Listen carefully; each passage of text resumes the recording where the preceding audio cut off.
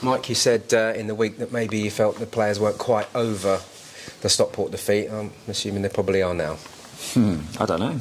Uh, I think um, that's the highs and lows of football. We we all love it for. Um, yeah, I thought uh, we spoke to them before the game, and I felt as though there's still a bit of pain from the weekend, which is perfectly natural. But it's our job to try and support and take that away, eradicate it, refocus. And I felt as though we, we might have struggled a little bit this week. Um, but then they respond like that. So I think um, before the game we had a bit of apprehension um, with, you know, we normally bounce back and we're very good at home, but we also know how good Walsall are and there can't be any complacency. Um, and the first half was, you know, I felt though we controlled things.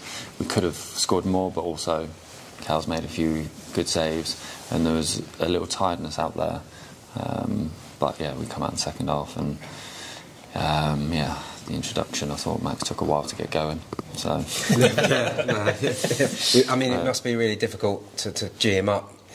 Yeah, I know, no, no, it was. I thought he was. Uh, it took him about 32 seconds maybe to impact the game, know. But um, yeah, it's great to have him back. Um, but the the character of the boys and like you see Gilbs just his engine and his um, enthusiasm to run regardless of what it is, and everyone I thought I, I could go through the whole team. Um, but yeah, uh, we've got to sort our away form out. So as good as that is, let's enjoy it. It's been enjoyed now. It's it's refocus, and that's as quick as football happens. Um, five goals, but also a clean sheet, which has, has been a little while coming. I think was that the second in 18 or something. So it, it's it's obviously something that, that is hugely important, and and also Michael Kelly getting the nod. Was there was there ever a doubt in the week? Uh, look, I'm you know I'm not going to talk about uh, the selection because you know it could all change, and um, you know looking at that bench uh, after you lose five 0 it can be really tough, and it was a real testament. You know, you've probably got 2,000 league games sat on the bench. Um, Most is that right? Yeah.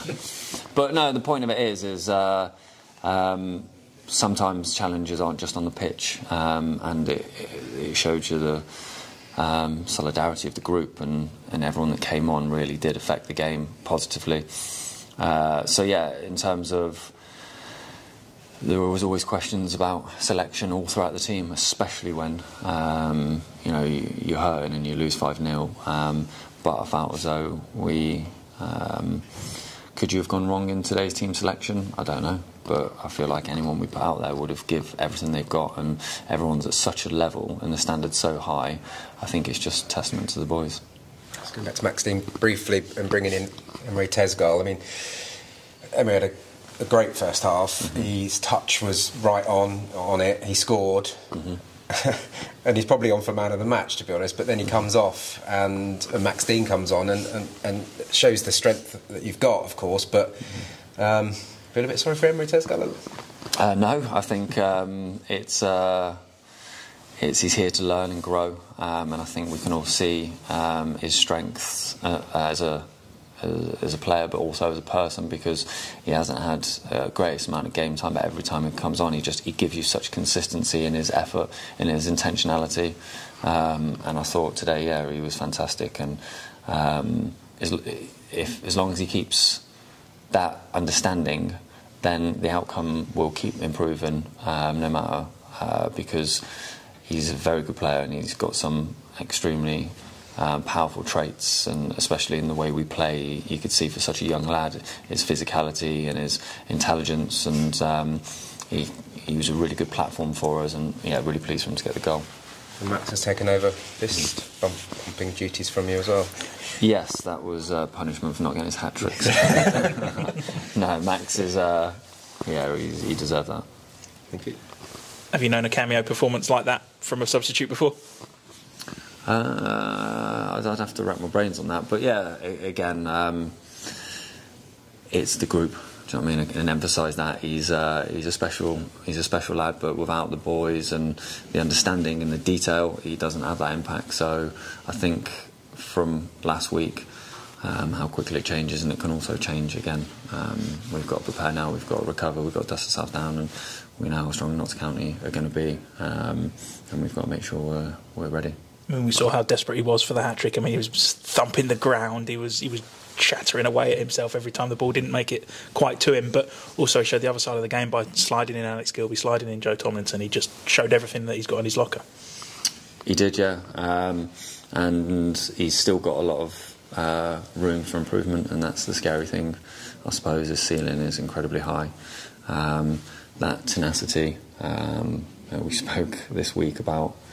Um, I don't think he needs any more fire in the belly. It's that ice in the veins. Um, but yeah, what what do you do with someone that's got that fire in the belly? You just you know try and help and support, but let him do what he does. Um, you know, obviously he's been out for for a while with, with that hamstring injury. Is it something you, you kind of have to say, okay, you still got to bide your time and come back in, or is he now ready ready to go to the races and, and start games? Um, I think that the work that he did um, before he was even with us is that the guys uh, make them um, hit targets and high speed running. Um, and I think, of course, the load will increase his chances um, in terms of you know not land fatigue. But I think that he, he I would have probably had no doubt putting him in from day one. But you know, you just want to do it the, the right way, and I think he's had sufficient amount of minutes now to be ready. Yeah. We saw the call to put Michael Kelly in today. How much of the five said was it at nil nil to deny what was a one on one chance?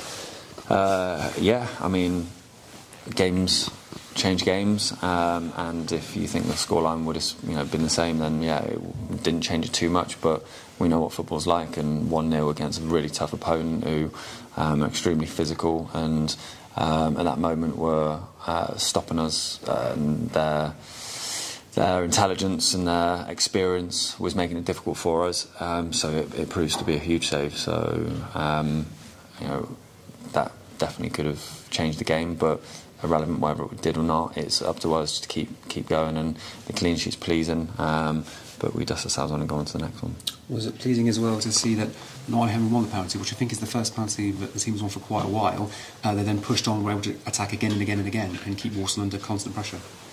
Uh, yeah, I mean, i have had questions about our first half performances, and then we uh, it goes slows down in the second half, and that was the reverse of it. But I think it just shows that there is no um, resting on any uh, scoreline or or coming off it. We're always looking to probe, and I think you've seen that when when the it clicks and the, the gear, we go through the gears, it's very difficult to stop. But it takes a lot of um, a lot of quality, a lot of concentration, um, and a high level of skill to execute that. But that's what we're about. That's the way we play, um, and we'll never come away from it.